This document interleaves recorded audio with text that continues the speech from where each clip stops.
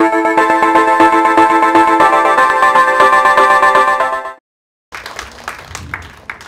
selamat pagi tuan-tuan dan puan-puan yang saya hormati. Terima kasih saudara Jais Abdul Karim yang bertindak selaku pemuda acara pada pagi ini. Kepimpinan perkasa yang dilalui uh, oleh yang berbahagia Datuk Paduka Ibrahim Ali, uh, panelis panelis yang lain dan saudara-saudari semua.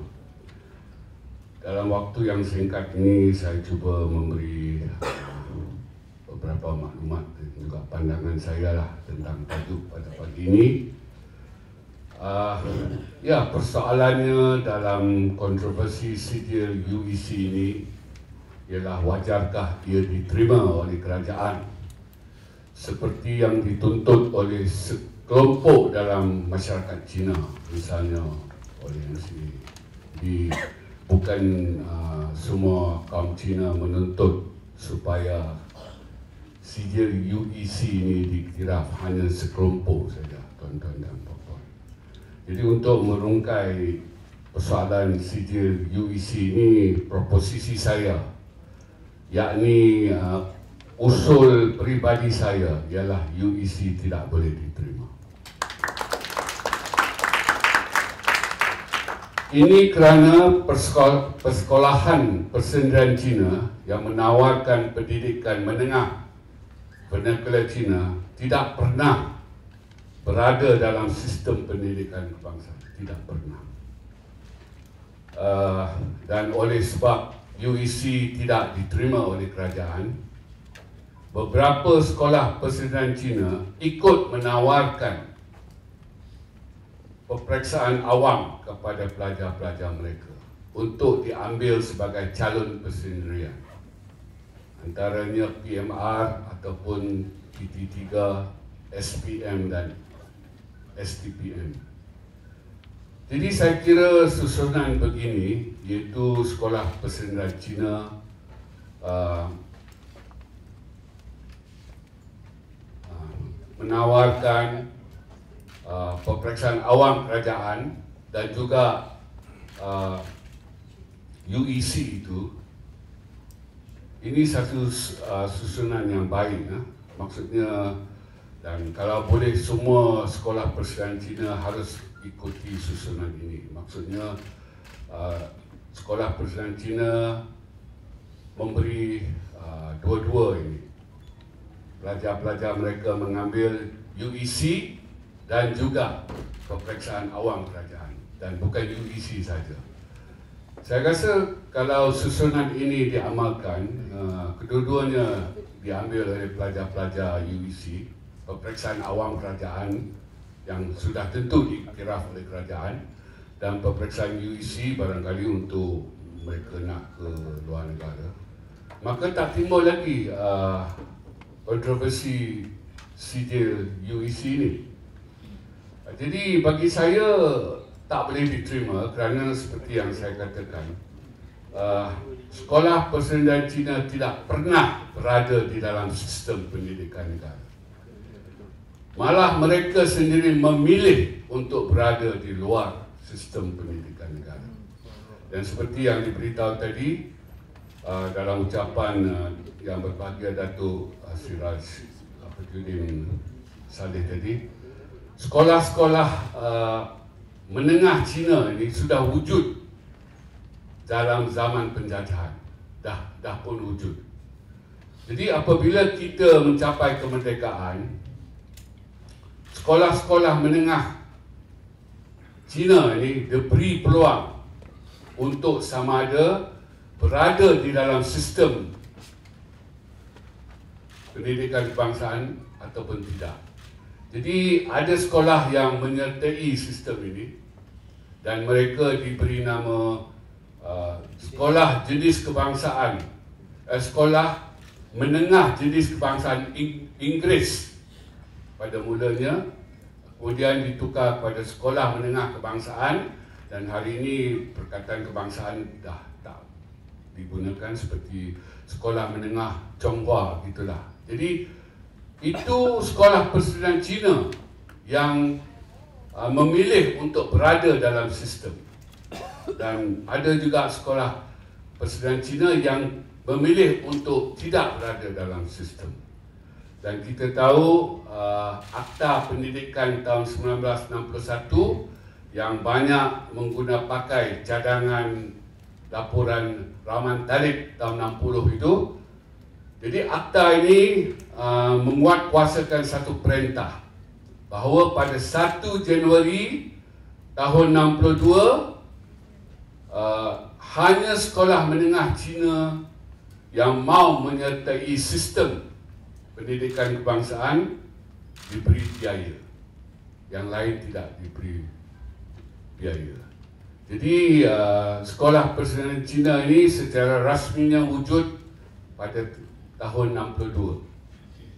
Dan seperti yang disebutkan tadi, kesemuanya kita ada 60 buah sekolah persediaan Cina, 47 di Semenanjung, 14 di Sarawak dan 9 di Sabah. 60 jumlah itu didapati memadai dan hanya jumlah itu sajalah tidak dibenarkan lagi. Ah, baru-baru ini ada ditubuhkan satu lagi di Kuantan itu. Jadi jumlahnya 60 campur satu lah. Kerana katanya yang di Kuantan itu itu cawangan dari sebuah uh, sekolah persediaan Cina di Kuala Lumpur itu. Dan masyarakat Cina sesetengahnya tidak menerima yang di Kuantan itu sebagai sekolah persediaan Cina. Hanya sebagai sekolah swasta. Kerana tak ada ciri-ciri seperti sekolah persediaan Cina yang lain. Jadi ada kata 60, ada kata 60 campur satu. Jadi uh, ya bagi saya ibu bapa Cina ataupun kelompok Cina yang mau mengantar anak-anak mereka ke sekolah persediaan Cina ni untuk mendapat pendidikan menengah dalam bahasa Cina ni mereka sedia maklum dengan ketetapan kerajaan bahawa anak-anak mereka ini tidak ada tempat di IPTE. Mereka sedia maklum. Dan uh, ya mereka mendesak dan kita tahu kerajaan kita Barisan Nasional BN BN itu B itu ada bargaining di situ N pun ada negotiation di situ.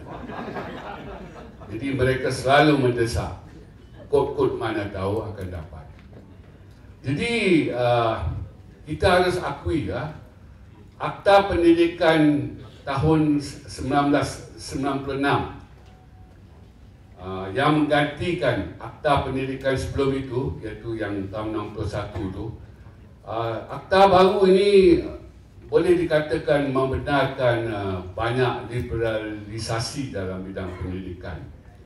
Dan kita tahu uh, kebenaran untuk menubuhkan IPTS itu cukup senang dan dengan itu maka tertubuhlah satu kolej uh, Cina kolej uh, yang uh, membekalkan pendidikan pada peringkat lepas menengah itu dalam bahasa Cina iaitu di Kajang New Era College. Itu ditubuhkan pada tahun 1997 dan kolej itu diberi kebenaran untuk dipertingkatkan tarafnya kepada kolej universiti ah, dan kolej ah, New Era hari ini di Kajang kolej University New Era ah, membekalkan pendidikan tinggi dalam bahasa Cina dan juga bahasa Inggeris. Jadi ini kebenaran yang cukup mudah untuk menubuhkan IPTS dan kita tahu apa Universiti Merdeka yang digagaskan oleh kaum Cina pada tahun 1968 untuk membekalkan pendidikan tinggi dalam bahasa Cina ditolak oleh kerajaan. Uh, ditolak oleh mahkamah dalam tahun 1982. Maksudnya dulu uh, susah sekali untuk mendapat lesen pendidikan itu untuk menumbuhkan IPTS dalam bahasa Cina. Sekarang College New Era itu satu contoh lah. Jadi tuan-tuan dan puan-puan berbalik kepada kontroversi sijil UEC ni jadi kelompok Cina ni yang menghantar anak-anak mereka ke sekolah persediaan Cina untuk mendapat pendidikan dalam bahasa Cina dan tidak ke sekolah kebangsaan untuk mendapat pendidikan kerana sekolah kebangsaan itu uh, membekalkan pendidikan dalam bahasa Melayu. Jadi ibu bapa ini sebenarnya mengambil kesempatan pada dasar yang cukup longgar itu untuk memperoleh keuntungan dengan menghantar anak-anak mereka ke sekolah menengah Cina sebab itu diberi dibenarkan oleh kerajaan dan untuk pendidikan tinggi ah, ibu bapa ini nak mencuba nasib sekali lagi mereka cuba memperoleh keuntungan sekali lagi ah, dengan semacam mendesak kerajaan untuk mengiktiraf sijil UEC ini untuk diterima pakai sebagai syarat penting untuk kemasukan IPTA ini. Seperti yang saya katakan uh, tadi mereka cuba sebab Barisan Nasional PN boleh bargain, boleh negotiate. Dan kita tahu dalam bargain dan negotiate kadang-kadang dia dapat jalan tengah. Jadi tuan-tuan dan puan-puan, bagi saya kelompok Cina ini yang mengantar anak-anak mereka ke sekolah persediaan Cina ini mahu memperoleh dua keuntungan. Seperti kata pepatah Inggeris, you want to have the cake and eat it at the same time. Maksudnya pada sekolah menengah mereka dah dapat untung sekali sebab ada dasar yang liberal dan untuk pendidikan tinggi tak ada dasar tapi mereka nak cuba dapat sekali lagi. Jadi saya kira nampak rakuslah di sini sekelompok uh, dalam masyarakat Cina. Bukan semua ah, tuan-tuan dan puan-puan. Uh, sebab uh, ya bagi saya uh, dalam hal mengiktiraf UEC ni kita patut tengok juga kepada kelompok Cina yang satu lagi ibu bapa yang tidak menghantar anak-anak ke sekolah persendirian Cina. Selepas enam tahun di sekolah jenis kebangsaan Cina, mereka menghantar anak-anak mereka ke sekolah menengah kebangsaan yang menggunakan bahasa pengantar bahasa Melayu. Jadi kita kena tengok kelompok ini. Bukan tak ada, ada. Jadi bagi saya kelompok ini sanggup berada dalam sistem mereka setia. Yang tak sanggup berada dalam sistem Mereka lebih kurang tak setia lah. Jadi Bagi saya Kalau kita Iktiraf UEC ni Maka lepasan sekolah Persediaan Cina ini Akan bersaing Dengan anak-anak Cina yang setia tadi itu Yang mengikuti sistem pendidikan negara Maksudnya mereka sanggup Berada dalam sistem yang dibenarkan. Ada yang di sekolah Melayu kebangsaan untuk 6 tahun, ada yang di sekolah jenis kebangsaan untuk 6 tahun. Lepas itu mereka memasuki sistem negara iaitu sekolah menengah. Jadi mereka setia. Jadi atas senario ini saya kira masyarakat Cina Malaysia secara umumnya tidak patut menyokong desakan kelompok kecil ini untuk pengiktirafan sijil UEC. Jadi saya kira kalau iktiraf, ah, ini pasti akan menjejaskan peluang kelompok Cina yang setia tadi itu yang mengikuti sistem pendidikan negara. Dan kita tahu tuan-tuan dan puan-puan, tempat belajar di IPTA kita terhad sekali. Khususnya untuk proses-proses kritikal seperti perubatan, pergigian, farmasi, kejuruteraan, ICT, perundangan dan macam-macam lagi. Maksudnya tempat itu sudah terhad. Kota, ah, kota, kota Cina pun terhad di situ. Jadi kalau UEC masuk, UEC akan ambil kota Cina itu, bukan ambil kota Melayu. Walaupun kita dalam apa sistem apa meritokrasi, tetapi sistem kota masih diguna pakai. Kalau tidak diguna pakai, kita akan lihat satu-satu uh, fakulti itu dipenuhi dengan satu bangsa saja.